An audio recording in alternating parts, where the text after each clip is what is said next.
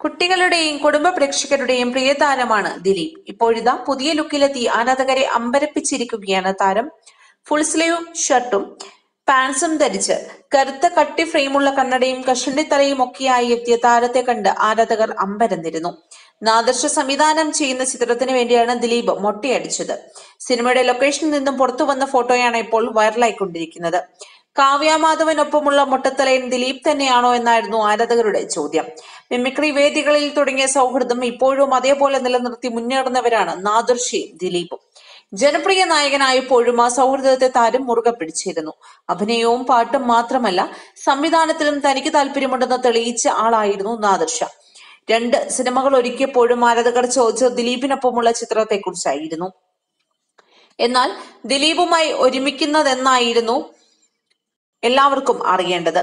നിരന്തരമായ ആ ചോദ്യത്തിന് പിന്നാലെയാണ് നാദിർഷ കേശു ഈ വീടിന്റെ നാഥനെ കുറിച്ച് പ്രഖ്യാപിച്ചത്. ഉർവശിയാണ് ചിത്രത്തിൽ ദിലീപിന്റെ നായികയായി എത്തുന്നത്. ഏവരും വളരെ ആകാംക്ഷയോടെയാണ് ഈ ചിത്രത്തിനായി കാത്തിരിക്കുന്നത്.